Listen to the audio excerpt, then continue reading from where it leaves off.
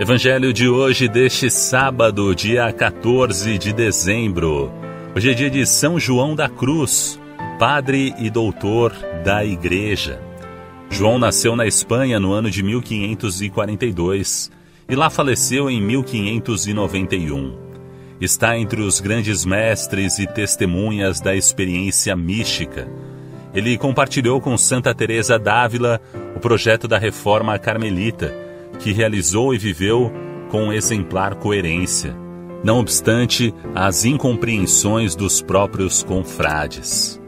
Celebrando, vivendo esta memória, vamos pedir a Cristo que nos conceda a graça de nos unirmos dia a dia à sua cruz, a exemplo de São João da Cruz.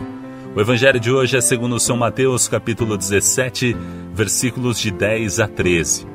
Ao descerem do monte, os discípulos perguntaram a Jesus: Por que os mestres da lei dizem que Elias deve vir primeiro? Jesus respondeu: Elias vem e colocará tudo em ordem. Ora, eu vos digo: Elias já veio, mas eles não o reconheceram. Ao contrário, fizeram com ele tudo o que quiseram. Assim também o filho do homem será maltratado por eles. Então os discípulos compreenderam que Jesus lhes falava de João Batista. Palavra da salvação.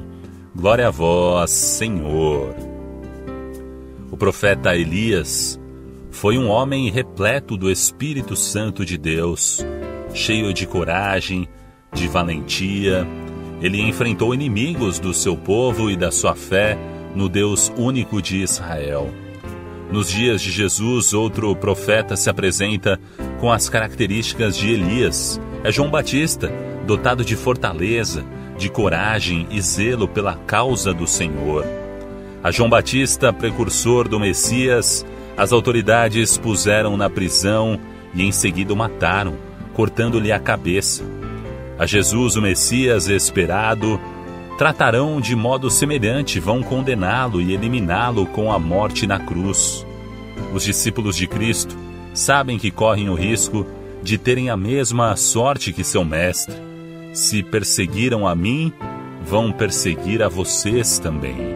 Então, se sua vida hoje está difícil, você está passando por tribulações, dificuldades, não se desespere.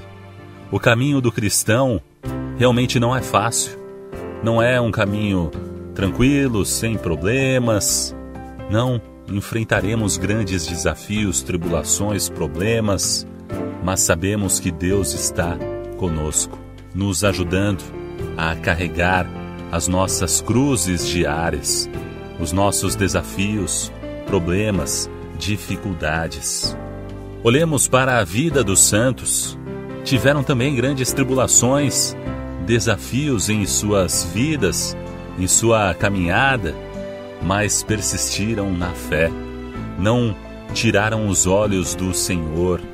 E a exemplo dos santos, também devemos seguir firmes em nossa fé, passando por todas as dificuldades, tribulações e saber que não estamos sozinhos em nossa caminhada.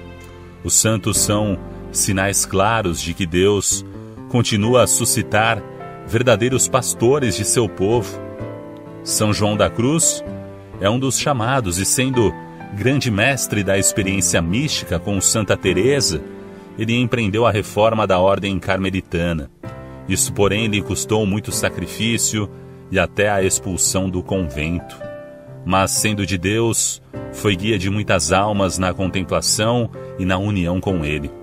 A brevidade da sua vida de 1542 a 1591, não foi empecilho para que realizasse grandes obras através do seu sim a Deus.